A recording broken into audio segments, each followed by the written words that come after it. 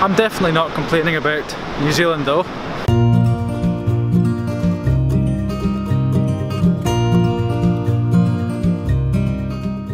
I've just received a couple of hundred pounds of tumbling media today. Take a look at this.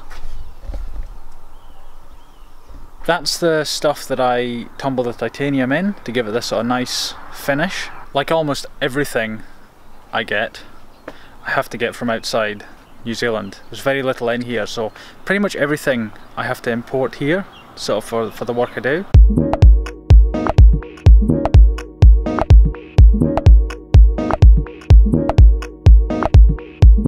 So yeah, well New Zealand is a, a pretty cool place to live. It is tricky for any sort of manufacturing at all. Well, the sort of manufacturing that I do at least. Everything, and I mean everything, has to be imported. The titanium, the machines for doing stuff to titanium, the media for, for finishing it.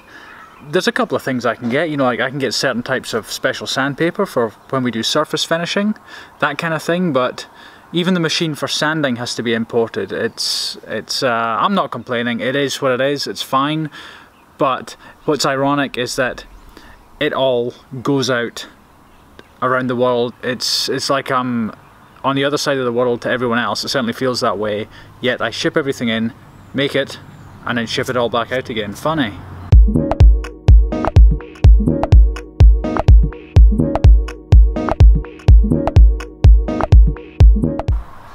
You know what's a real pain?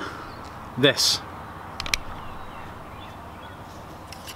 The lens cap. It is an absolute pain.